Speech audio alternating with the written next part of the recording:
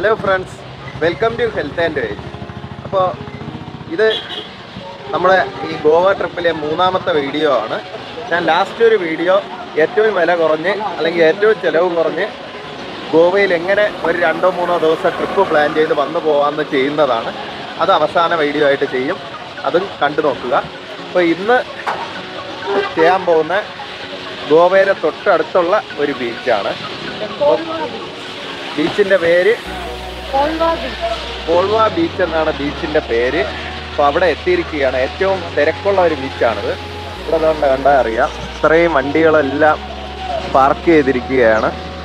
ഇവിടെ പ്രൈവറ്റ് ബസ്സും അവൈലബിൾ ആണ് കേട്ടോ. മഡ്ഗോൺ അഥവാ ഗോവ റെയിൽവേ സ്റ്റേഷനിൽ വന്നിറങ്ങിയിട്ട് ബസ് കയറി വേണമെങ്കിലും ഈ കോൾവ ബീച്ചിൽ വരാൻ സാധിക്കുന്നതാണ്. അപ്പോൾ നമ്മളിതിങ്ങനെ കുറേ കഷ്ടപ്പെട്ട് ഇവിടെ പാർക്ക് ചെയ്യാനായിട്ട് നമ്മൾ കാറിൽ പാർക്ക് ചെയ്തിട്ട് ബീച്ചിലേക്ക് ഇതാ നടന്ന് പൊക്കോണ്ടിരിക്കുകയാണ്.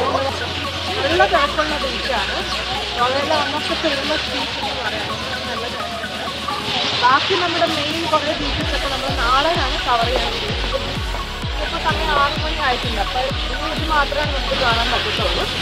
കണ്ടിട്ട് നമ്മൾ സ്റ്റേ ചെയ്യായിരിക്കും ചെയ്യുന്നത് നാളെ വീണ്ടും ബാക്കിയുള്ള ബീച്ചൊക്കെ കാണാനാണ് പ്ലാൻ ബീച്ച് കാണുമ്പോൾ നമുക്ക് എപ്പോഴും നല്ലതെന്ന് പറഞ്ഞാൽ ഈ സൂര്യൻ അധികം ശക്തിയോടെ ഇല്ലാത്ത സമയം വൈകുന്നേരം സമയം തന്നെയാണ് കേട്ടോ അതാണ് നമുക്ക് ഏർലി മോർണിംഗ് വരണം മോർണിംഗ് പ്രശ്നം എന്ന് പറഞ്ഞാൽ കടകളും ഇങ്ങനത്തെ കാര്യങ്ങളൊന്നും ഓപ്പൺ ആയിരിക്കത്തില്ല ഇപ്പോൾ പർച്ചേസ് ഒക്കെ വേണ്ടവർക്കും അതുപോലെ ഫുഡ് കഴിക്കാനൊക്കെ രാവിലെ ആണെങ്കിൽ ബുദ്ധിമുട്ടായിരിക്കും കടകളൊക്കെ തുടങ്ങാൻ പത്ത് മണിയോ പക്ഷെ അതിനുശേഷം ഭയങ്കര നട്ടപ്പൊരു വെയിലാണ് അപ്പോൾ നമുക്ക് ഭയങ്കര ബുദ്ധിമുട്ടാണ് ഇതാണ് ശരിക്കും പറ്റിയ സമയം വൈകുന്നേരം ഒരു കുഴപ്പമില്ല അപ്പോൾ ഗോവ എന്ന് പറയുമ്പോൾ ഫുൾ കുറച്ച് ഡ്രസ്സൊക്കെ ഇട്ട് കിടക്കുന്ന മദാമ്മമാരെ ആയിരിക്കും എല്ലാവരും മനസ്സിൽ കാണുന്നത് എന്നാൽ അതിൽ നിന്നും വ്യത്യസ്തമായിട്ടുള്ള ഒരു ബീച്ച് ഇതാ കണ്ടോ. നാട്ടിലേനെക്കാട്ടും കൃത്യമായിട്ട് ഡ്രസ്സെല്ലാം ഇട്ട് ഫാമിലി ആയിട്ട് വരുന്ന ബീച്ചാണ് ഈ ബീച്ച്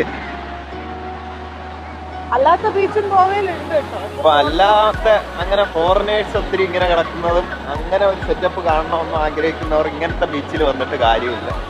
അതിന് ഒരുപാട് ബീച്ചുണ്ട് കേട്ടോ. ഗോവയിൽ ഒരു പത്ത് ഇരുപതോളം ബീച്ചുണ്ട് കടലിങ്ങനെ കിടക്കുന്നു ഇടയ്ക്കിടയ്ക്ക് ഓരോ ബീച്ച് അപ്പോൾ അത് കൂടുതലായിട്ട് കാണുന്ന ഓരോ റിസോർട്ടുകാർ തന്നെ ഒരു രണ്ടുമൂന്ന് റിസോർട്ടുകാർ ചേർന്ന് ബീച്ചാക്കി മാറ്റിയിരിക്കുന്നിടത്തും അങ്ങനെ കുറച്ച് ആളുകൾ വരുന്ന സ്ഥലങ്ങൾ കാണും. കിടൻ പ്ലേസസ് പ്രൈവറ്റ് ആയിട്ടുള്ള അവിടെയാണ് അവരും അവിടെയാണ്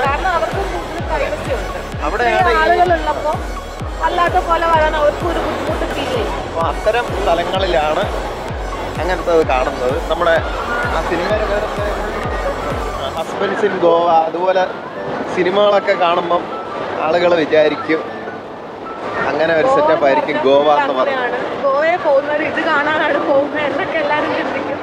എന്നാൽ അങ്ങനെയൊന്നും അല്ല. കേട്ടോ. ഇതാണ്ട. ഫുൾ ഫാമിലി സെറ്റായിട്ട് ജനം നിറഞ്ഞു കിടക്കുന്നു.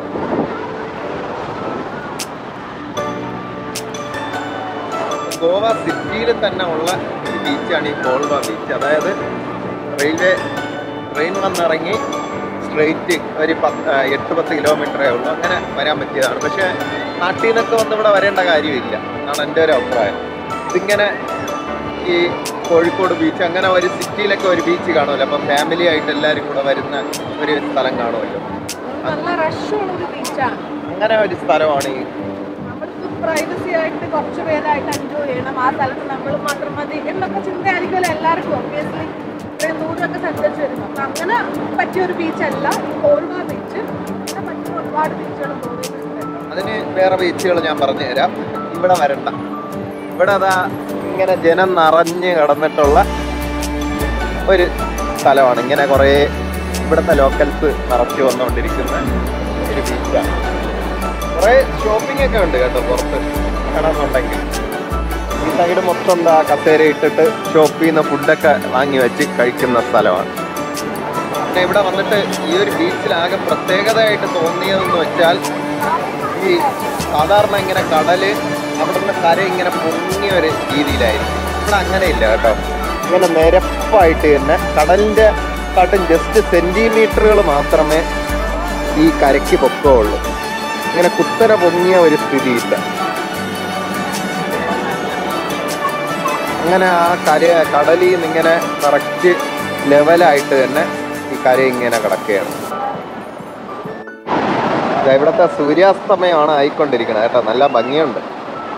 അപ്പം നമ്മൾ ഇവിടെ നിന്ന് തിരിച്ച് വേറെ ഏതെങ്കിലും കുളിക്കാൻ പറ്റിയ ഒരു ബീച്ച് നോക്കി പോവുകയാണ്.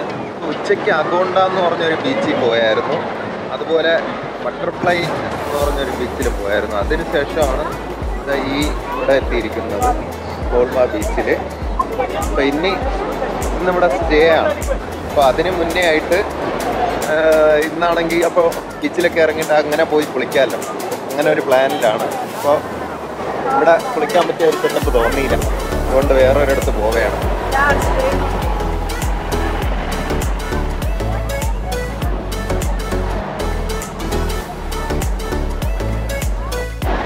അപ്പം ഇവിടെ സൂര്യാസ്തമയമാണ് കേട്ടോ ഈ നടക്കുന്നത് നല്ല കളറുണ്ട്